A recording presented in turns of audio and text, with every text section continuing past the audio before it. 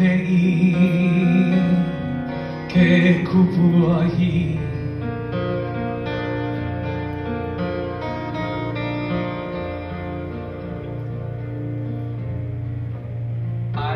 am a Hawaiian. Born of Kikuku and Kapupua blood, direct descendant of Kakuhihewa, ancestral link to Papa and Wakea. This Aina courses through my veins with each breath I inhale, and yet, when I exhale, my voice speaks the language of city streets paved with concrete. I seek the knowledge of Western philosophy from the teachers that taught me and those that taught them. Traced to the scriptures of Plato and Socrates and all those who followed under the laws of linear logic. And yet my thought patterns wander a circular path of Kanaka Maoli tradition. From the Kumulipo to the Ololono e Oai, heed the wisdom from my ancestors and listen to ancient chants passed on through the winds of the Ko'olau and dance to the part of the beats of the Ipu dance to the part of the beats of the Pahu I dance to the part of the beats of hip hop. Weaned off of Run DMC, BDP, and Grandmaster Flash. It was hip hop held my hand through dark tunnels, leading me to find my own voice through slam poetry. A voice to speak and teach the youth of my land, to give back to the children of Hawaii by appealing to their hip hop sensibilities because they are being weaned off of it just like I was. Thus, we can relate. Your perspective on a hip hop revolution is relative. Cultural degradation is a cause and effect chain reaction, a feedback mechanism that builds upon itself.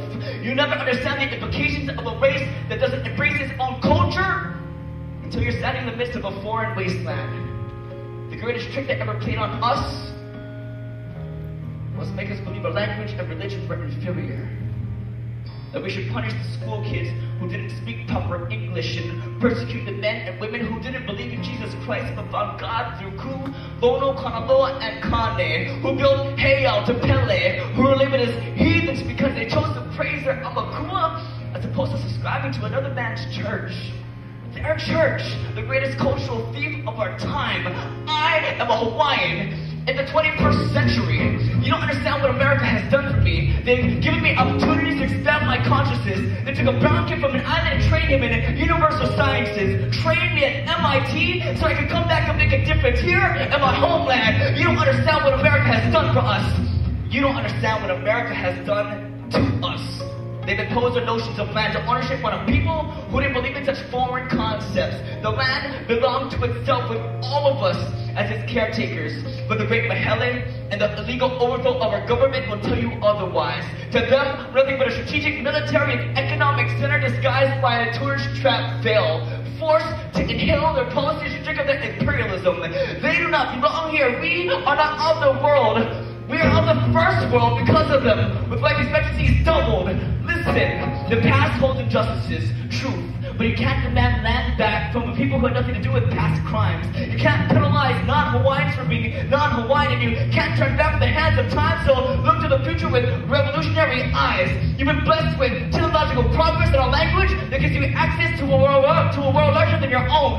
I've been cursed with a tongue that isn't my own disconnected from the sentence structures of my ancestors and thus disconnected from the thought patterns of my culture. For God's sake, I am a Hawaiian in the 21st century. I am a Hawaiian in the 21st century. I am a Hawaiian in the 21st century. I am a Hawaiian in the 21st century. The conflict within me is the same that divides my people amongst each other, inhibiting all attempts at progress. And yet, as time passes on, each step we don't take is a step taken backwards. Because my culture is dying each time a Kupuna loses her breath. Each time our Western bred generation inherits her strength. How can we understand her wishes if we no longer understand her breath? Ha'ole. How can we understand her wishes if she no longer has a breath? Ha'ole. My people are running breath.